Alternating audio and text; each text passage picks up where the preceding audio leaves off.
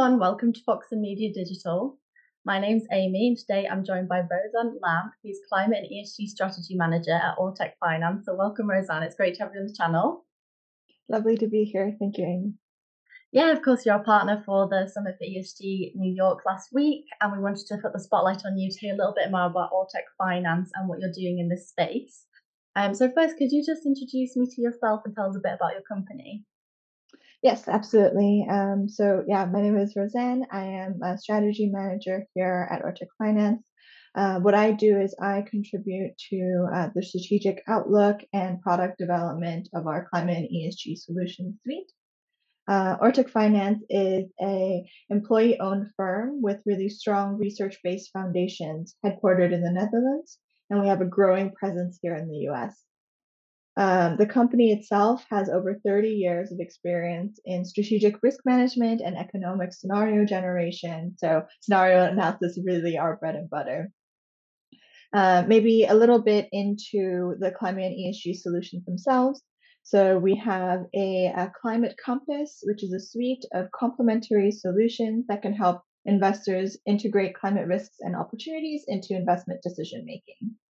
And within that, our products capture transition risks, physical risks, market risks, scenario analysis, as mentioned, as well as portfolio alignment. So many different ways that you can um, address the kind of interplay between the financial sector, the economic, the economy, as well as climate change.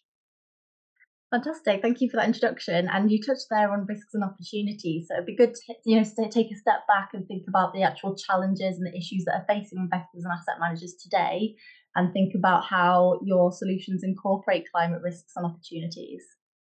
Um, yeah, absolutely. So in terms of how our clients really understand and make sense of this information, so, um, on the one hand, while uh, climate change will contribute a you know, material financial risk to the performance of um, individual companies, it is also at a higher level, at a sector and region level, really, really important. So, certain sectors like um, the energy sector, for example, may be impacted more than other sectors. Um, and that is specific not only to the sectoral level, but also how that will manifest in the US compared to Europe, compared to Asia, et cetera, et cetera.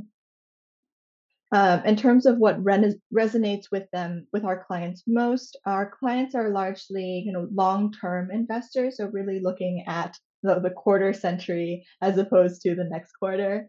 Um, so what our clients are really looking at is to understand how climate change will impact capital market assumptions in both a quantitative as well as a qualitative way and our ability to separate out transition risks, acute and chronic physical risks, as well as explicitly model market risks associated with climate change has really differentiated us in the market. In addition, our models are really at a top down approach, and that means it really captures the networked effects of climate change at a global level using over 500 modeled sector and region data points.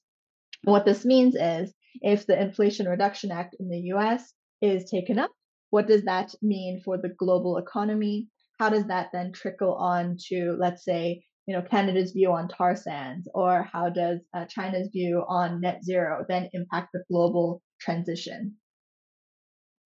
That's fantastic. So, what does that look like day to day for your clients? So, when they're using these solutions, you've kind of given a high level overview of what they will do with them, but how do they use them day to day in their jobs? Yeah, so um, it really varies. What we recommend our clients to do is really incorporate our scenarios and our products throughout their firm. So, whether it be the risk team looking at the strategic asset allocation, the ALM analyses, to the um, the you know, ESG sustainability team really looking at uh, reporting in accordance with the TCFD, you know, providing that latest report all the way up to board level to really understand how, as a firm, how do they, you know, change their investment beliefs or what are their investment beliefs when it comes specifically to climate change. And this is really important to have these consistent views on how, you know, different transition and physical risks will manifest um, under climate change in order for you know actual progress and the transition to occur. Yeah, and thinking about the journey to net zero and how uh, climate risk is being addressed in the financial system as a whole, you mentioned some of those developments like the upcoming regulations, the market trends mm-hmm. that, that investors and investment managers are dealing with. What is your attitude towards climate change as a material topic? Yes. Um, so, I mean, we are headquartered in the Netherlands, and I'd say uh, Europe has a slightly different and more a different view on the way that climate change is a material topic than the US. However, taking a step back, climate change is a financially material topic, and you've seen that in numerous mandatory TCFD disclosure requirements, as well as scenario analysis exercises around the globe. In the US specifically, the SEC has, of course, proposed regulation around what is defined as material overall. And there are going to be winners and losers to climate change at the sector and region level, and of course at the individual company level. And so our view is in order to really understand which sectors and regions are going to be most affected, is the, that's actually why forward-looking climate analytics are so necessary. However, I want to highlight that the interplay between climate change and the economy is not only limited to financial materiality. In addition to being financially material, as we've seen all these net zero commi- net zero commitments come to um, fruition, that really brings to light the materiality of how individual investment choices impacts the climate as well. So whether we choose to refer to that as double materiality or not, that is um, ultimately what we're seeing in the market. And so that is also why, you know, just to really emphasize the importance of a consistent set of probable scenarios for both the risk return perspective as well as the impact perspective. Yeah, that need, leads nicely into my next question as well. Because looking ahead, you know, what the industry can be doing to sort of address all of this, you know, you touched on some of those solutions there, like scenarios, use of analytics.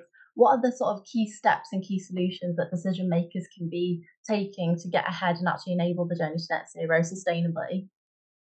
Absolutely. Um, so there are, of course, many providers out there in the market, many solutions being proposed.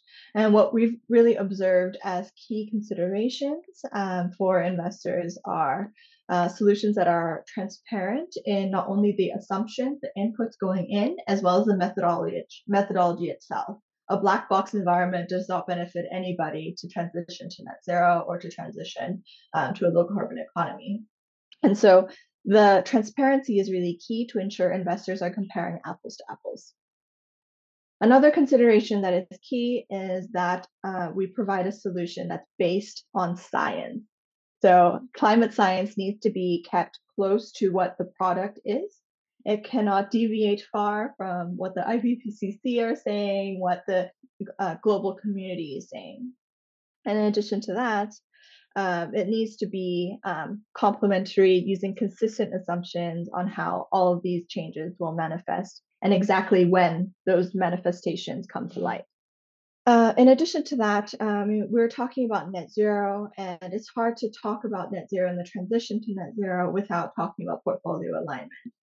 Portfolio alignment really plays a crucial role in the transition as it is a forward, is by definition forward looking analysis to help investors contextualize how their investments um, their investments emissions trajectory really means in relation to a 1.5 degrees world as well as the Paris Agreement.